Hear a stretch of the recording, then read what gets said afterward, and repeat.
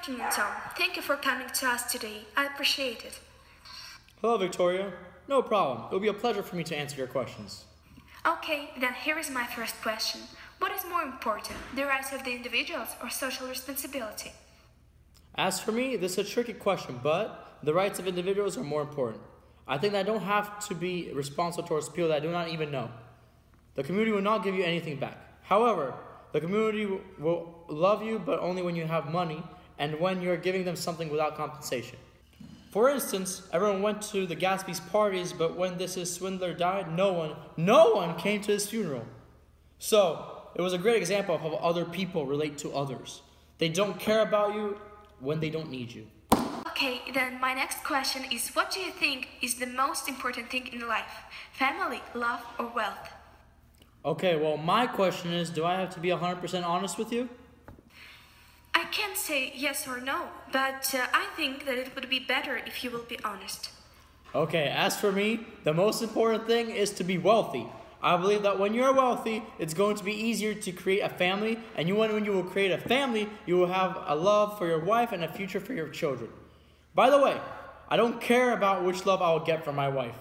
Is it going to be fake love to my money? I don't care. Or if it's going to be real love, I don't care. She will still treat me the same. So why do I have to care why she loves me?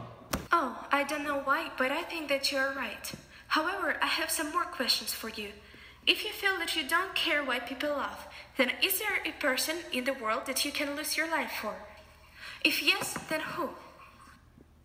Okay, I don't really know a person that I'll be able to give my life for. I think that life is the most important thing that we have, and there should be no reason to lose it for something or someone. As for me, life is the biggest present that was given to us from above.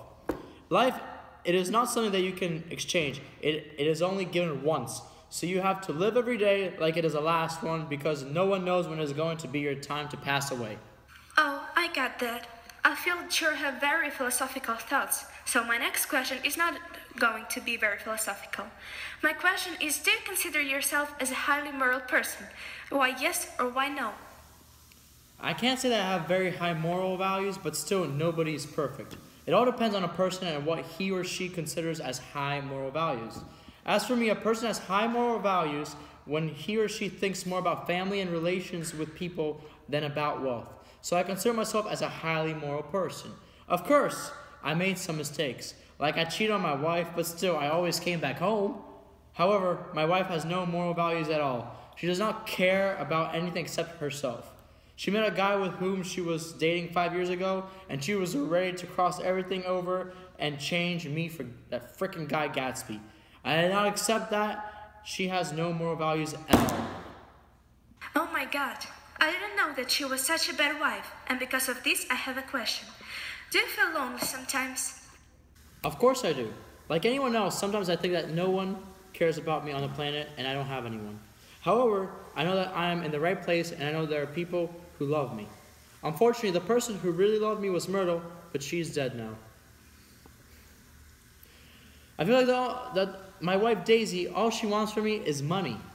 By the way, Myrtle began dating me because of my suit and not because of my personality, because all they want from me is money.